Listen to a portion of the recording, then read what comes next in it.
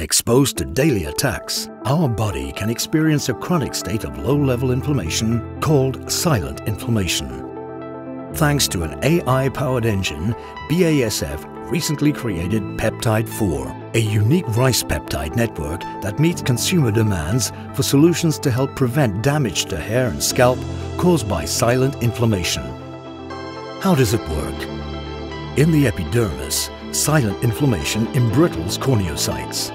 Our scalp can then become permeable, uncomfortable, dry and dehydrated.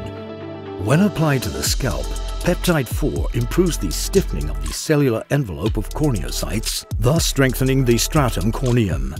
The scalp is less irritated and less prone to dandruff. The vitality of hair follicles is also affected by silent inflammation.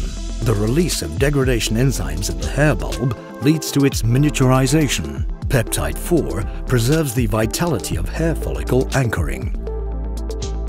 With PeptAIde 4 in a shampoo, hair fibers are repaired from inside. Scalp scales and redness are reduced. PeptAIde 4, the power of natural healing peptides.